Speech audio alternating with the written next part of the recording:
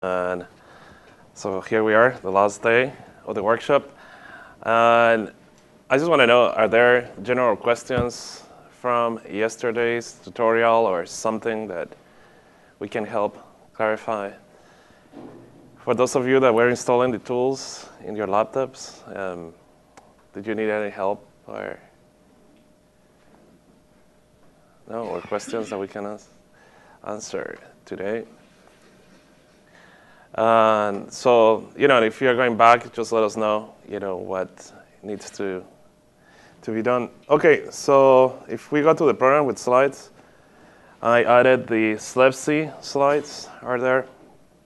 Um, as I'm gonna show you, SLEPC is a, is a project that is being developed at the University of um, Valencia in Spain.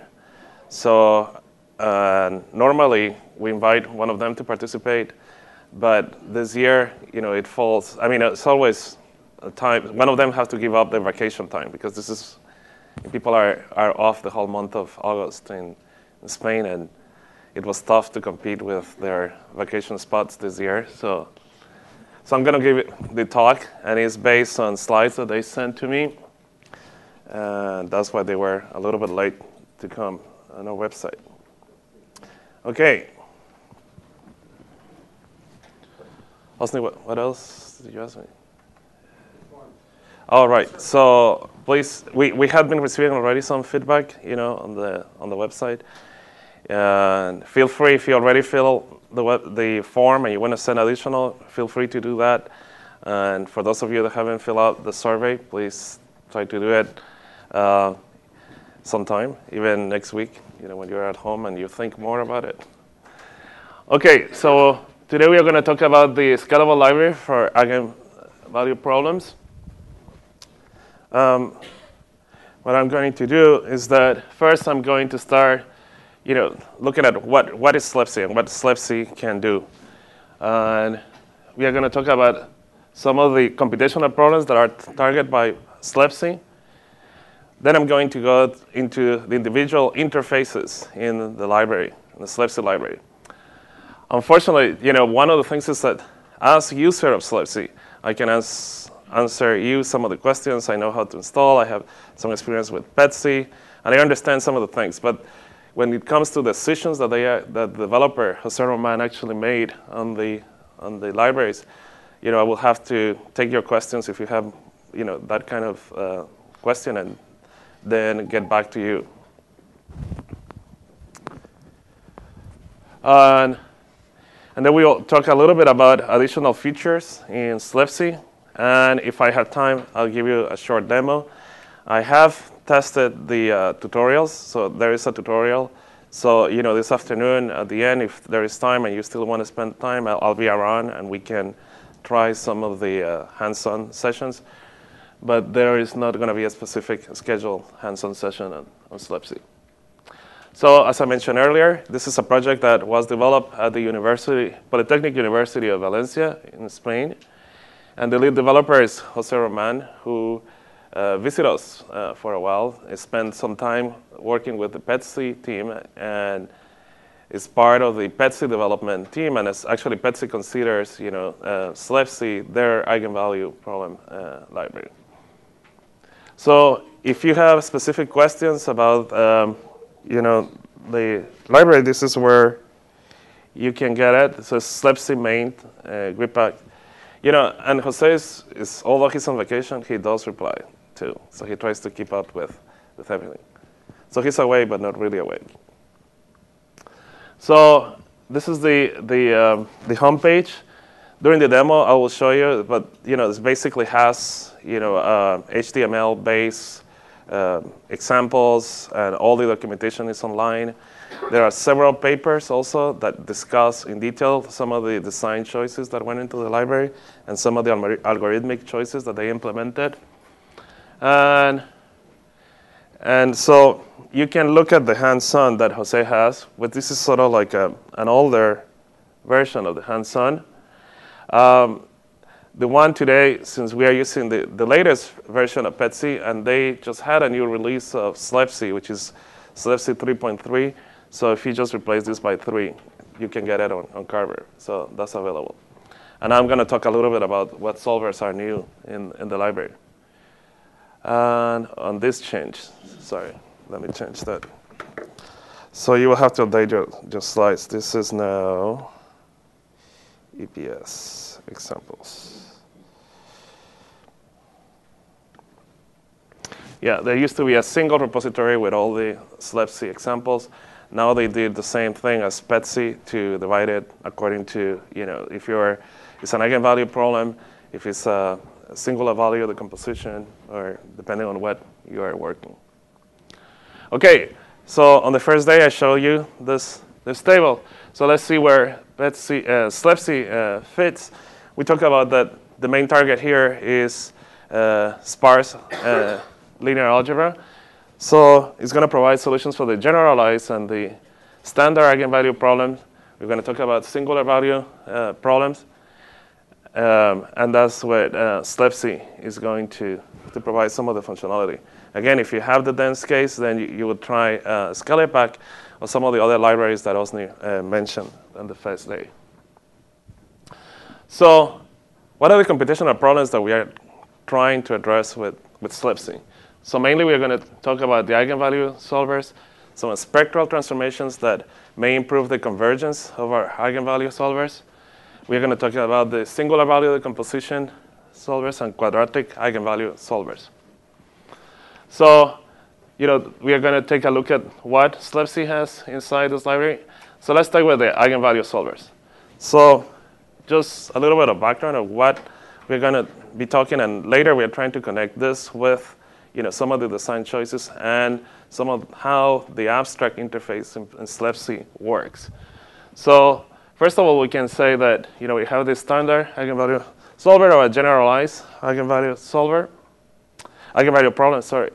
And where you know, our eigenvalues are scalars, and then we have our eigenvectors, which um, you know, they can be we, we, when a collection of scalars, and this can be you know double precision, single precision, and I don't know if, um, if Matt showed that, but when you configure your PETSC implementation, that's when you specify you know which precision do you want to use. If you want to use double precision, you want to use complex arithmetic, then automatically once you configure your PETSC, all that you have to do is go to the SLEPC directory and configure SLEPC, and that's what you will get. So the metrics A and B can be real or complex. Metrics A and B can be unsymmetric, Hermitian. Uh, matrices. Uh, B typically is symmetric, positive, uh, definite, or semi-definite. So what is the solution? The solution is that we are going to, NEV, by the way, stands for the number of eigenvalues that we are going to compute. And we're going to number them from 0 to any v minus 1. And we are going to have the corresponding set of uh, eigenvectors. So what are the computational requirements? We may be interested on the few dominant eigenvalues, or we may be interested in computing you know, some of the, uh, the eigenvalues with the smallest or the smallest real part. Or we may want to compute all the eigenvalues that are in a given range. So this is sort of like you know the different possibilities that we can address with uh, these uh, solvers. So now let's look at the spectral transformation. So here the idea is that we want to improve you know, our convergence for some of these eigenvalue problems. So, so here we move from our original system to a transform system. And in, in this transformation, what is going to happen is that the eigenvalues are modified. But we have a simple relationship, so we know how to, to get back our original eigenvalues from the transform eigenvalues. But our eigenvectors are always the same. So there are three possibilities, or there, there are a number of possibilities, but in the SLEPC context, we are going to consider three of them. And that's the shift of origin. We can do a shift and invert, or we can do the scaling uh, approximation as well. Transformations. So what happens is that you know, that T um, or transformation, their metrics is not built specifically. So this is sort of what is going to connect in SLEPC to our PETSC uh, library, but we don't explicitly, or they don't explicitly build the, the metrics A. So another kind of solvers are going to be the uh, singular value decomposition solvers, where we have a set of singular values. We have our left uh, vectors and our right uh, singular vectors.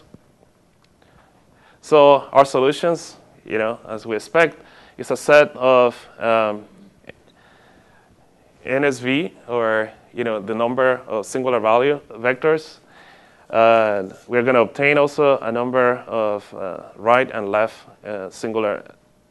So what are the computational requirements? Here you may, you may be interested in computing just a few, the smallest or the largest uh, singular values.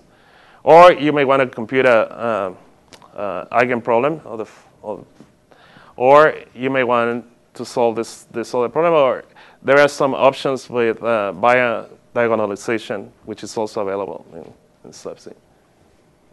Lastly, we have the quadratic problem, which has, the equation has this form. So here we have three, three matrices, M, C, and K matrices. And again, we have our set of uh, our eigenvalue and our eigenvector corresponding to that eigenvalue. And our matrices can be real or complex. They can also be symmetric or unsymmetric. Typically, some of the matrices are symmetric, positive, semi-definite, or definite matrices. So what solutions do we expect? So we should also expect to obtain a, a set, the eigenvalue and eigenvectors, uh, the pair of eigenvalue eigenvectors and, but now the number of eigenvalues that we are going to compute is the double of, of them. And we have two different options for, to, uh, there, there are actually now implemented a, a, number of ways to linearize this, this problem, and I'm going to show that when we get to the SLEPC interface. And, or use the, you know, the uh, Arnoldi uh, method. So is this first part clear, or are there any questions? Seen in physics loads of places where eigenvalue problems and singular value problems show up, but where in physics do quadratic eigenvalue problems arise? Why, why would you ever want to solve them? So Eric and also I think are where do the quadratic eigenvalue problems show up.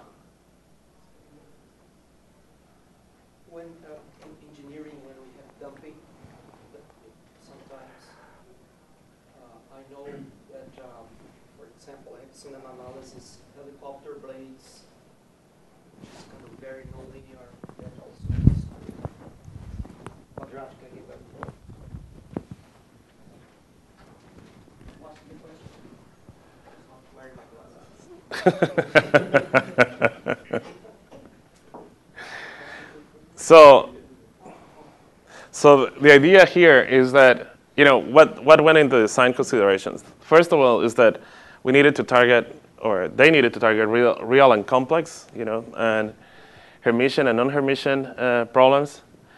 Um, with a single user interface, you know, how can we express, or in an abstract way, compose, um, specify the different, the kind of problems that we talk about, and you know, extend really this kind of uh, formulations to other kinds of, of, problems, and you know.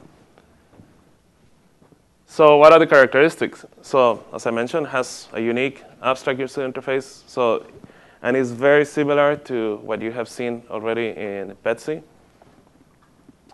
So the idea here is that there is a whole set of functionality and algorithms that you can twin, uh, tweak, parameters, implementations, but all goes to the same uh, single interface. So if you remember what I'm talking about here is like in PETSC, like for instance, if you don't specify what your KSP or your linear solver is, then PETSC makes a default. And you can start changing parameters. You know, you can say what the, the, your um, GMRES, the, you can set the restart, you can set your tolerance value. So similarly, that you can do in, in SLEPC. Now, um, spectral transformations, they are going to work with the eigenvalue problems only. So the user really doesn't have access to the spectral transformations by itself. But um, the nice thing here is that the abstract inf information, so you're using this, the spectral transformation in this context to help you uh, with the conversion, so the problem that you're trying to solve. So SLEPC doesn't give you access to, to the spectral transformation directly, but it returns you know, a more robust uh, solution. And you may need to solve recurrent linear solvers. That means that you know, internally, there have to be places where you will save some information for some of the vectors and also do an optimal uh, you know, allocation of these uh, matrices. For the singular value and the uh, quadratic eigenvalue problems, they can be obviously solved by an association with an eigenvalue problem. Okay, so what is SLEPC? So SLEPC, you know, like PETSC, the goal was to create this sparse, scalable uh, solvers. So the idea was why to build, you know, all your matrices, vectors, and all your um, basic linear algebra uh, hooks if PETSC already had something in place. So that's why sort of it's built on top of PETSC. And the current version is the 3.3, which was just recently released. And there are three uh, new solvers. This is the first time that they are implemented a conjugate gradient uh, based solver in the library. And this is the, this Schur also that is part of the, of the of the library. So when we talk about uh, PETSC, if you remember, PETSC had everything classified, vectors, matrices, uh, linear solvers, nonlinear solvers, time steppers, and everything was sort of uh, like an object-oriented kind of approach. Although everything is written in ANSI standard, so there is nothing uh, C++ or Fortran 90 here. They do provide interfaces to C++, there are interfaces to Fortran 90 or any flavor of Fortran for that matter. So um, later I'm, I'm going to go into more detail on what the use of the subjects are. But if we think of the, the first object in SLEPC is this EPS, and it's the object that is going to allow us to access the whole selection of eigenvalue uh, uh, problem solvers that are in SLEPC. So it's going to allow me to describe the problem. You know, that means that I could specify some of the parameters that are related to the specific algorithm that I'm going to use to solve the problem.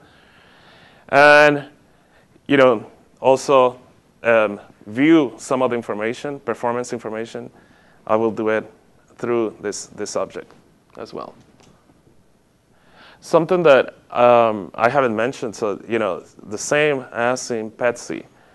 Uh, you haven't seen a single line or, or anything that makes reference to the programming model that is underlined. But obviously, this is addressing algorithms that are implemented sequentially or algorithms that are implemented in parallel, and all the parallelism is, hide, is hidden from the user.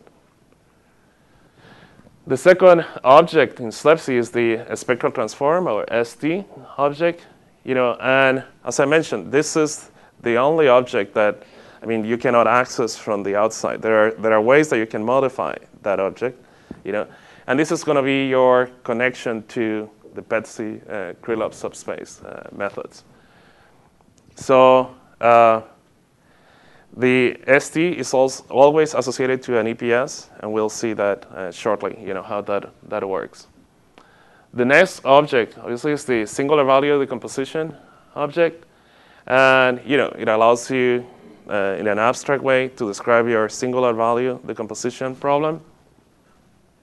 Uh, and provides a transparency, uh, uh transparent access to the eigensolvers for associated eigen, eigenproblems to this single value decomposition.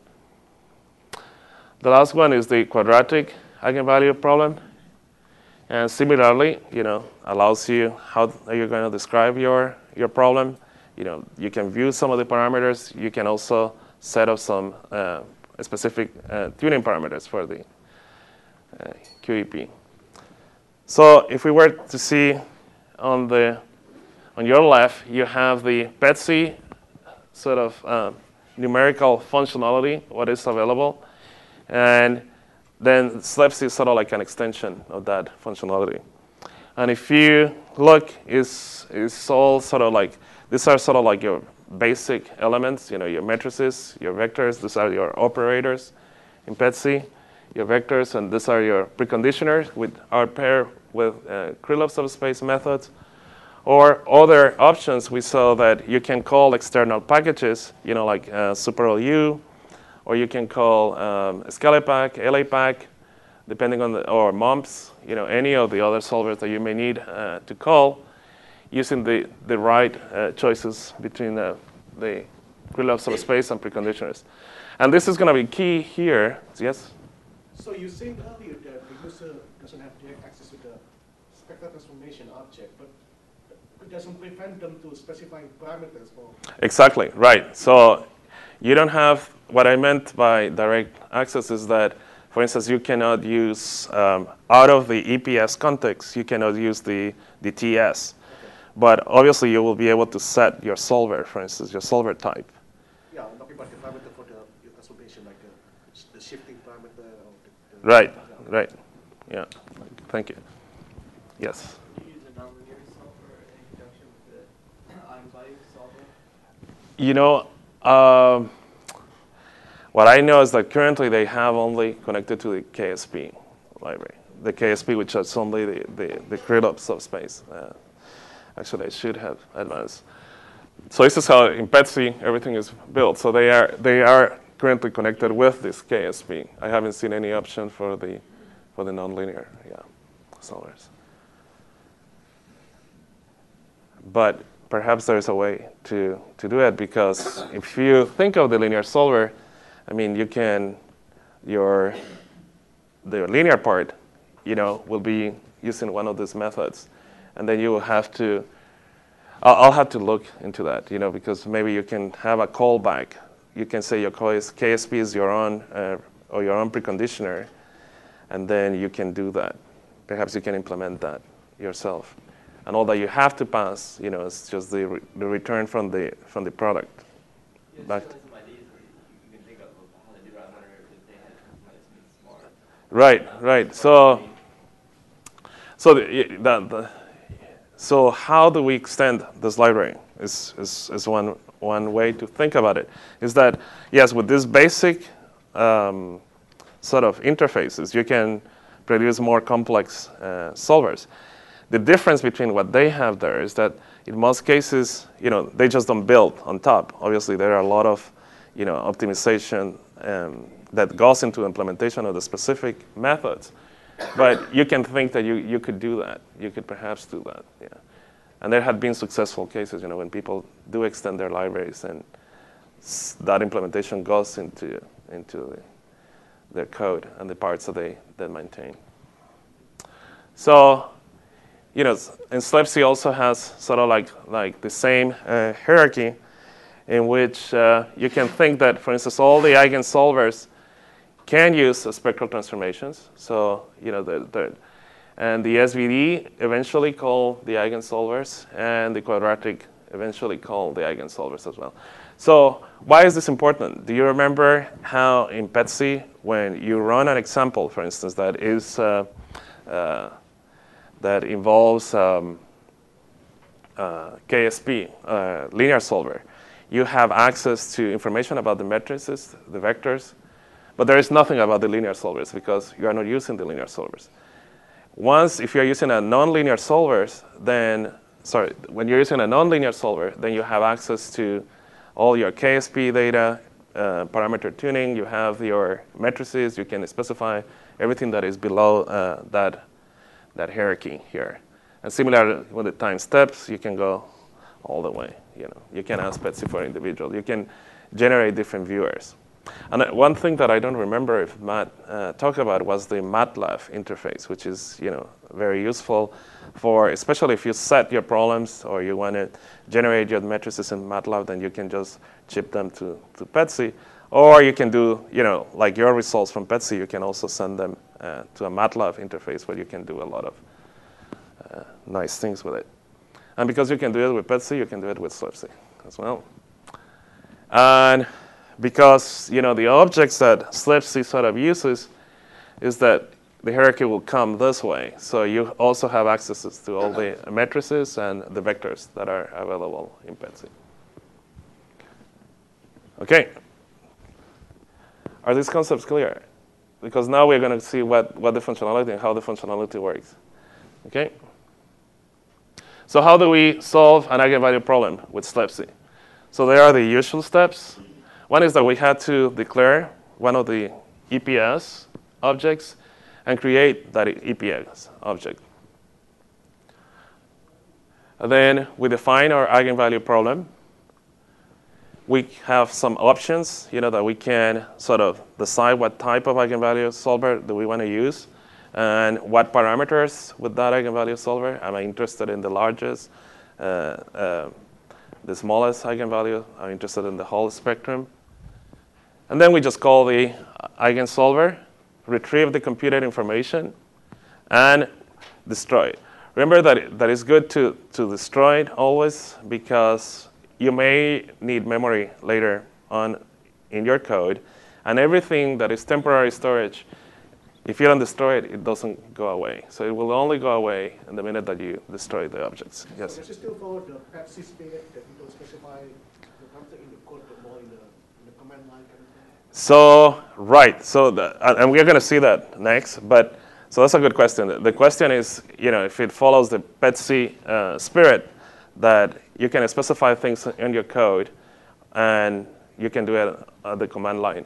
So there are two things also. So it's the same with PETSC.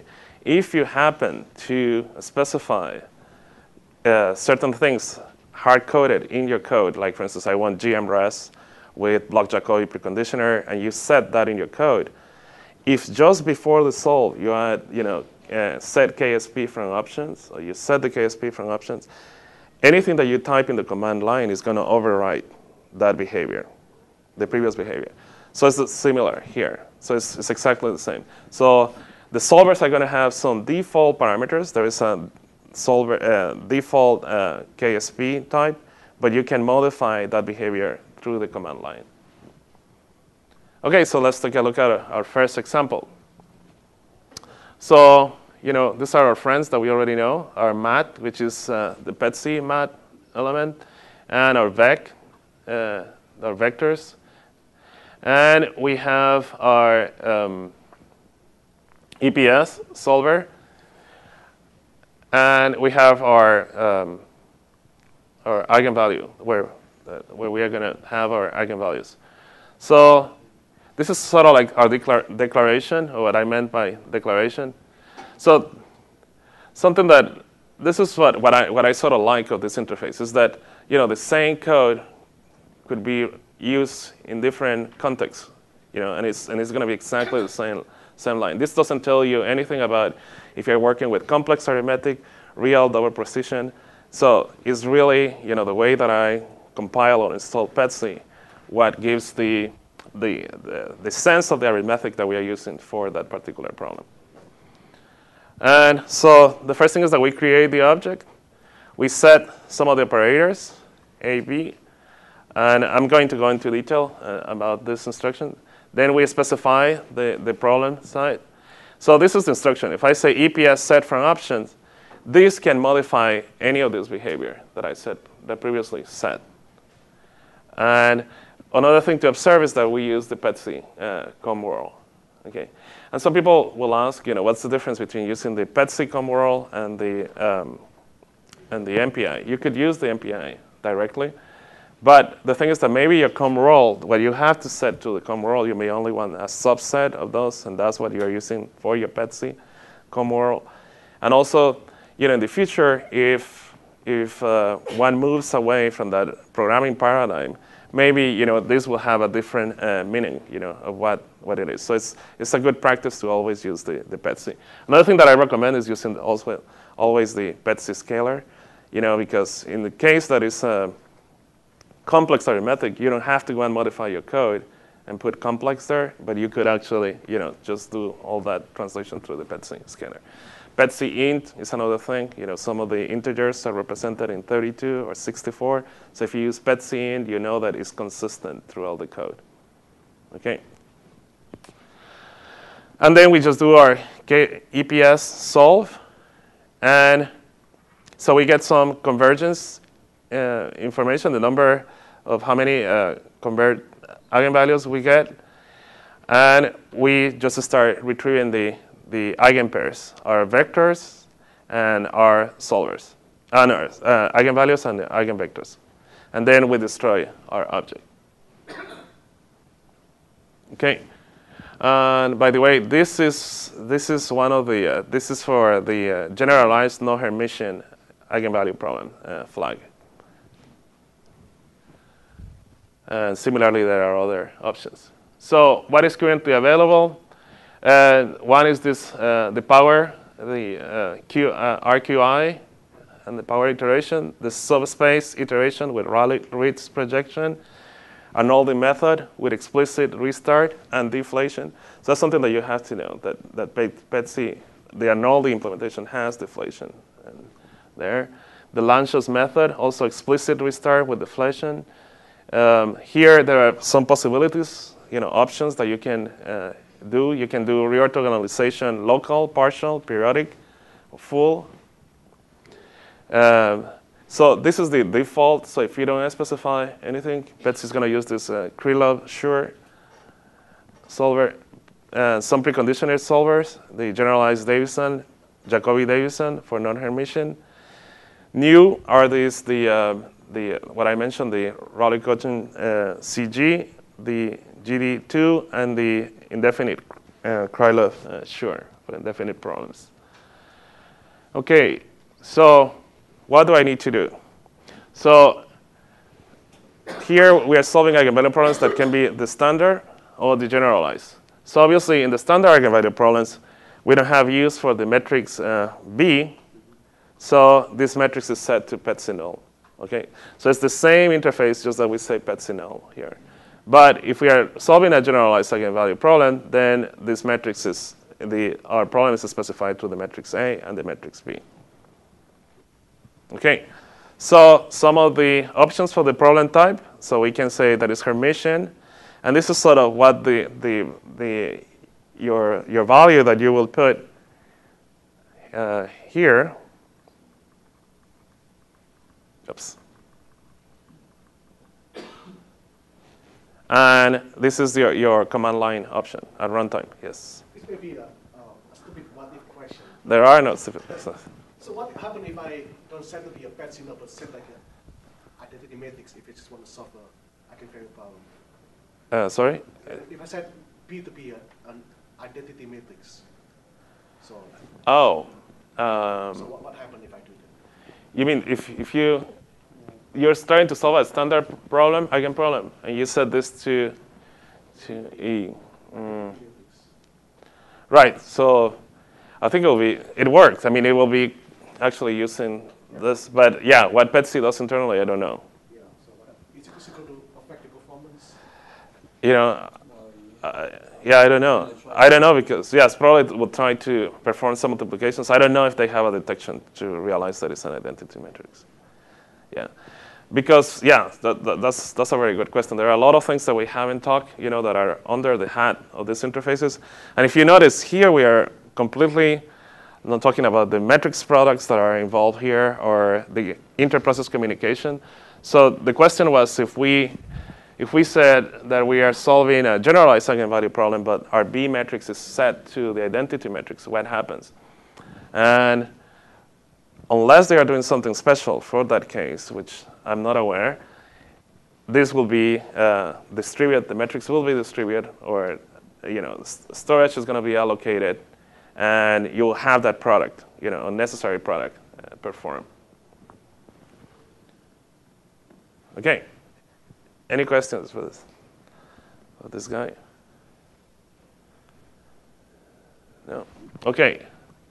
So, you know, so the, at, at runtime, this is just example of how you use it at, at runtime. So you will use these flags, the EPS Hermitian, to change the behavior to any, or you can say I'm interested on six eigenvalues, and I want the tolerance to be e to the minus eight. So this you can set, and the program will be the program or the code that your your actual uh, code. So what information? Remember that we saw that PETSC had the uh, KSP view for the linear solvers. You can do mat view, you can do vec view to see the, some properties of the vectors, matrices, linear solvers, nonlinear solvers. So this is the information that we get from the SLEPC uh, view. So first it's going to tell us, you know, uh, what type of problem it was uh, solving, what method did he use, and then it gives you some of the options, you know, of, of what. Um, and then at the end, it tells us also, you know, some information about um, what the defaults of that, that object uh, were. So what other things can we do? We can ask EPS plot eigenvalues, and it's going to plot the eigenvalues that, that it managed to compute. And this is very similar. You remember how in PETSC we, we sort of plotted the, the, the tolerance values. Something that I, I had in mind on, on Wednesday, and I forgot, was that, you know, when, when we look at the residual of the KSP solvers, because PETSC uses uh, uh, left preconditioning. So the residual that you're looking is not the residual of the original uh, system, but is the, is the preconditioned system. PETSC has options that you can ask for the actual preconditioner. So that's also important to know for. So PETSC actually does that under the hat for you. So what you, if you ever see it, these are the actual related to the eigenvalue problem that you're trying to solve. So profiling, you can do uh, log summary. So what PETS is going to, uh, SLEPC is going to do is that it's going to add information about the eigenvalue solvers to the profile information. That includes memory use, uh, your flops, and you know time that it took per processor to execute certain routines. Everything that you, when you do the profile, uh, PETSC log summary, it sort of uh, gives it to you. You can also debug by saying, you know, start in debugger and, you know, or do a malloc dump, you know, which will give you some information about your, um, your uh, footprint, you know, what actually was allocated and used in the, so it's not the memory footprint, but it's the memory allocation uh, sort of traces. Okay, so another things that you can do is that you can do, you can look at the convergence of the different eigenvalues you know, and so you can do that by, uh, you know, using this EPS monitor. It's very similar to the KSP monitor that you saw, or the SNES monitor. And you can actually say, uh, ask uh, the program to draw it for you. The uh, draw interfaces, you know, in the past, it's good that you use this draw pause, you know, equal to something. So Otherwise, it, the minute that it displays it and the program ends, it quits the interface. So the pause asks, you know, for a few seconds, how many seconds do you want to wait so you can get this, this image. Another thing is that if you don't want to do it, you know, online, you can also ask to put it in a file, you know, with the KSP view, and that file you can put it, ship it to MATLAB, and do some nice uh, graphics with your MATLAB interface. So what if we want to improve the convergence of the, of the, um, of the solvers? Then we use these spectral transformations. And so and we are going to use the ST object, as we mentioned uh, before. So the T is actually something that the user um, will have access or will be able to set some parameters to, but you will not have that T. Uh, the values of that t. You will not be able to recover the values of that, of that t. So some of the options are, uh, you know, these are the different um, spectral transformations that we can use, shift, fold, the uh, shift and invert, and precondition, and you know, for the standard, this is what you will be building, and for the generalized, this is what the matrix will look like. Okay, so how do I modify the behavior of the of the default uh, shift? So, um, did you see the example of a precondition, uh, linear solver using a preconditioner in PETSC? How to change the preconditioners? So, you know, the the uh, the spectral transformation is very similar to a preconditioner in PETSC. So it's another interface. You know, that you don't create the preconditioner. What you do is that when you create your KSP, the KSP has, you know, sort of like a, um, a sub-object, which is that preconditioner associated with that. So in this case, it's the same. All this, uh, uh, the SLEPC objects, the the uh, eigenvalue solver, the EPS, has a KS, uh, TS, ST, sorry, associated with it. So you ask uh, PETSC to, to give it to you, or SLEPC to give it to you with the EPS get ST. So then you have the object already. And now you can say ST get uh, KSP, and from the ST, then you have now access to your linear solver. This is your PETSC linear solver, okay? And from here, you can actually get the preconditioner, okay? You can also, then you will use the PETSC instructions to say get PC, okay? Is that clear? So that's how you, you will be able to modify the behavior, you know, going from the eigenvalue problem that you're trying to solve, you get to the spectral transformation and details on the spectral transformation. So that's where if you really wanted to use, for instance, SuperLU or you know, MUMPS or any other solver that is available, this is the, you will have to get, you know, you get your KSP, and then once you get your KSP, you can say to PETSC, you set your KSP type to none and precondition only. So then, you know, you set your precondition equal to MUMPS, your precondition equal to SuperLU, and, you know, and voila. Okay. So the same, you know, you have also, you can control this at runtime. You can say, you know, what your EPS type is, your SD is shift, and you know you can control the different uh, options uh, to, to here. So these examples are in the tutorial, you know, and, and actually they are self-explanatory what they do in more detail. Okay, so now uh, any questions with the um, eigenvalue solvers? Yes. Yeah, you can get them. Yeah. Yeah, I didn't. I didn't. Yeah, but it's one of the things that you you get out. Um, I think you get a residual vector back. Where's this guy? And then you, you can you can also ask for that that information. Yeah. Yeah, there was another question. Yes. Where are the tutorials for? Oh, so I'll I'll I'll walk you through.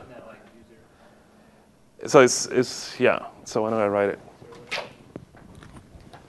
So it's gonna be, uh, oh, so what, better yet, why don't you just do, do, uh, you know, module load um, SLEPC, SLEPC uh, 3.3 G or O. You know, the difference between these two is that this is, was compiled with optimization and this one is for debugging purposes. And then you can just go, uh, you can copy uh, dollar. It's the same, you know, SPETSC, they have uh, SLEPC dir slash source slash, in this case, we are, we are using EPS. And if you copy examples, under examples, you have two. You have uh, the tests that are run when you install the software, and the other one is this uh, tutorial. And this is the, the one, the examples that you're going to see are, are related to these tutorials uh, uh, page. Okay. Um, something that you know I, I, didn't mention before and I forgot was that um, let's say you have PETSC already installed, you install SLEPC, you download SLEPC, you set your, uh, you know, which the module, in this case, for the Carver users, the module SLEPC is- does it for you, sets your PETSC dir and your PETSC arc variables. Those are the only things that you have to set, and then you try to configure SLEPC and then make, and it's done in no time. So it really doesn't require much because it's going to read the PETSC configurations and then configure itself. But this is basically where these files are.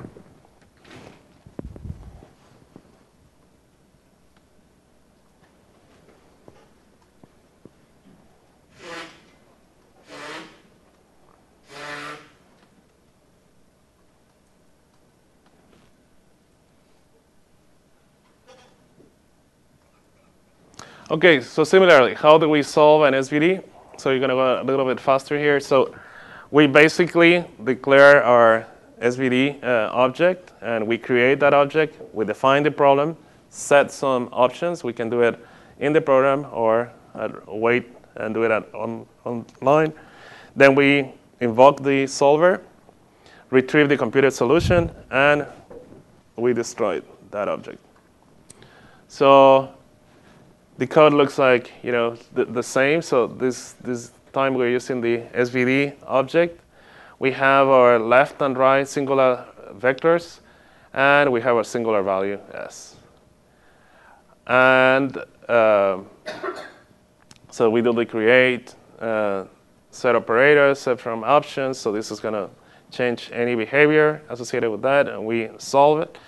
And then get converge, and this is the number that have been that have converged. It returns the number that have been converged, and then we just start printing the uh, obtaining the, the triplet uh, values, and then we destroy our solvers. Obviously, there, there are a lot more information. If you have the viewers, if you look at the viewers, look at the options of the viewers of what kind of information you can get uh, from it. So what is available in the singular value? So you have the cross product matrix, you know, which uh, works with any EPS eigensolver, cyclic matrix also with any EPS object. There's the Golub-Kahan launches by the anonymization with explicit restart and deflation, and the the Golub-Kahan Lanczos with uh, thick restart and deflation. So how do you do it? It's very similar. You do the SVD set operators. You know, you pass your matrix A, and you know, set from options. This is the one that is going to take your command line, and you can do SVD view to get some uh, additional information. Okay, so now for the quadratic eigenvalue problem is very similar. You know, we declare our object, we create our object, we define the eigenvalue problem. We also have a set of parameters that we can do before the solver phase. Uh, then we retrieve the computed and we destroy the object.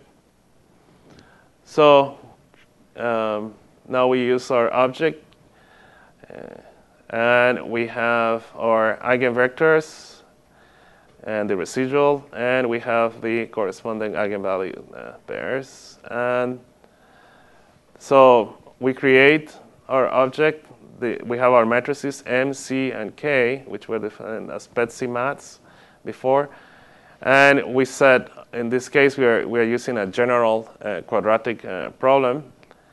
And uh, this is where we set it from the command line if we want to alter any of the behavior of that solver.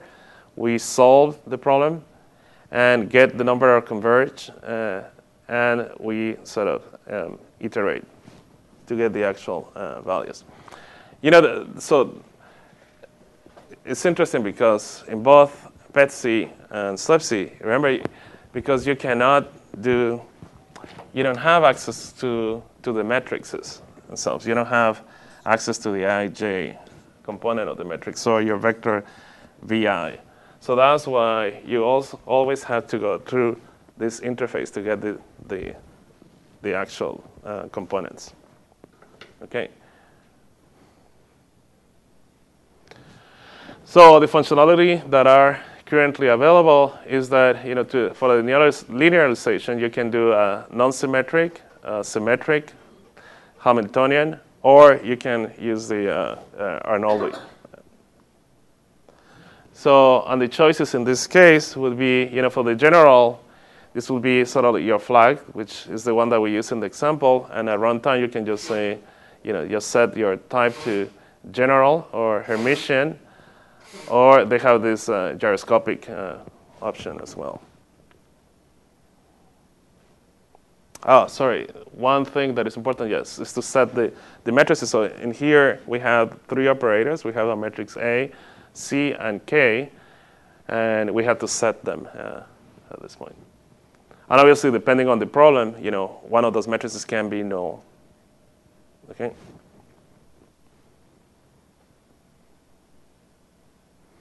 So similarly, we have the set from options. So we'll take the command line options. We can do uh, the view, or which is similar to the uh, view command line as well.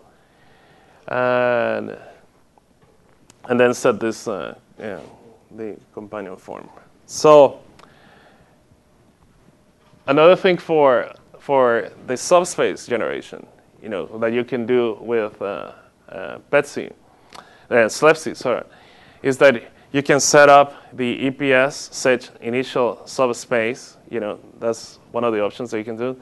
You can also do the deflation subspace. So you can provide an initial trial subspace for SLEPC. This could come, you know, from previous computations or something that you already know and you want to start, or you may have a good idea of where to start. Uh, and these are just a few assumptions. So, what are some of the highlights of the library? You know, so if you look, uh, SPETSI is easy to, to extend and build a lot of functionality. Um, the nice thing is that, for instance, they were able to integrate, you know, the complexity of the algorithms to change, you know, going from the standard or generalized to the shift uh, or transform versions without really the user having to do that setup. Everything is, is done for you. But if you do need to manipulate the solvers, you can do that. You, you can go to the KSP solver, you can do that, or let PETSC deal with you. What is the beauty is that the interface at the top, it actually returns to you the same set of eigenvalues. There's nothing that you, you, you don't need to transform those uh, eigenvalues uh, back. Uh, so it's portable to a wide range of platforms. As I mentioned, also also has a C, C++, and different flavors of Fortran. You know, can call uh, and has extensive documentation. And if you got PETSC, then it's very easy to install. Okay, so I want to thank uh, Jose for sending uh, the slides that I used to produce this ones here. And so let's take a look.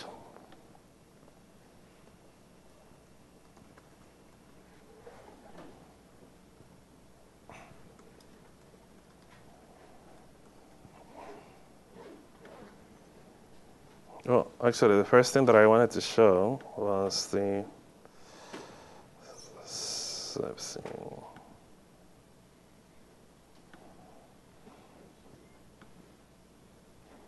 So if you go to SLEPC, this is under Axe, you can get to the SLEPC website.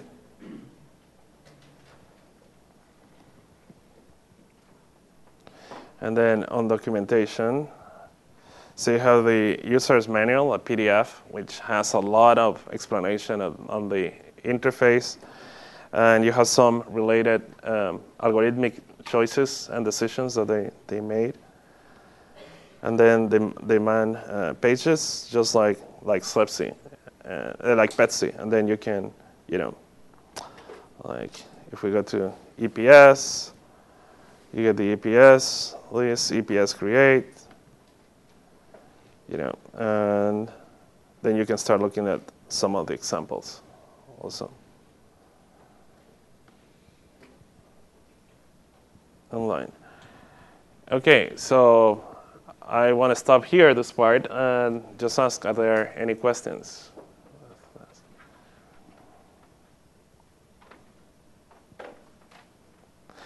Um, so I think, Patrick, you asked me about the Anasazi. Uh, okay. And there, there is one thing that I didn't mention is that you can also interface to other solvers, you know. So the same way that uh, you can ask for other, so there are other packages that you can can can call from here. No, just in case. No questions? No. Okay. So, if you go to let me see, carver.nersc.gov.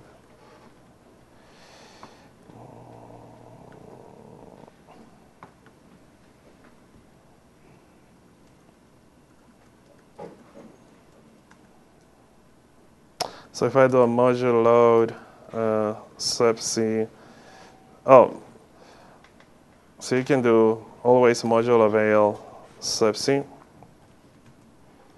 and then it gives me all those options, module load, SLEPC, 3.3, I'm gonna use the G one, okay. Then three environment variables, you know, the ones corresponding to PETSC should be there. The PETSC arc.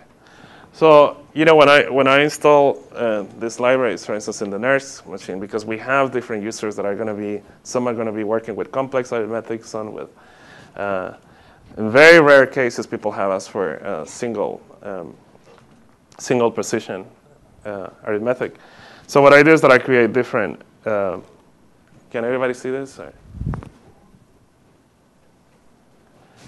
Different architectures. So I usually, if this, this means this is the default uh, real. In some cases, you know, you'll see um, that I put complex, you know, Linux 8 complex G, which is the complex uh, arithmetic. Or, you know, if there is um, a single, then it will say single underscore G. So if we wanted complex, do we have to use step C31? Uh, no. Oh, in this in this case, right? Because I didn't. I, I just haven't installed the yeah. Because it's this was a release like last week, and then immediately on the weekend there was a new thing that they they fixed. So then I just installed these two because PETSC was just going to be using this here. So yeah, I asked Matt if he wanted the complex and he didn't want the complex, so we just used this. Uh, yeah, eventually there's going to be a 3.3 uh, uh, complex. All right, so let me go to my home directory. So, let's see. Let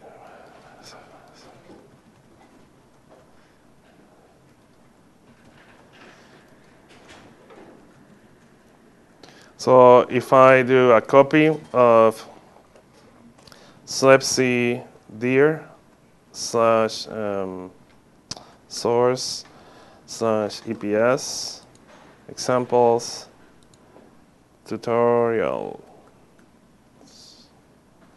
And I think it's just minus R here. So then you have all the all the um, all the examples in SLEPC. Um, if you open this, you could go to the uh, website, the web interface, and you have the exact uh, codes, the same codes, those HTML uh, files, which you can click and it gives you a lot of information about each of the, the functionalities in the code. And then there's the Make file, like if you want to modify or create your own uh, uh, EPS solver, you know, um, uh, program, you can just modify this make file, you know, and then obviously we just do make ex1 and and then we will we will execute that. Oh, I have to use my account. I mean, uh,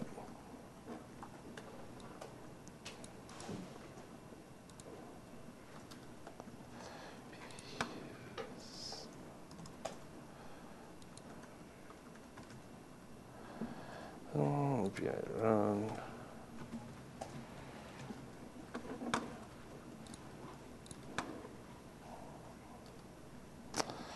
Six on. I don't know if this code works fine. Um, so, and I can do things like EPS view and gives you a lot more information. I can use the log info.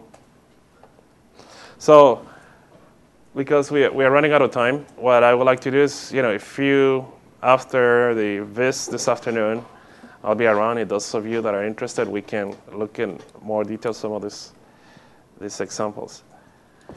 Okay, and maybe I'll have time and I, I can install the complex, you know. So this is it. And so I think we move to, is Eric, you're next, isn't it?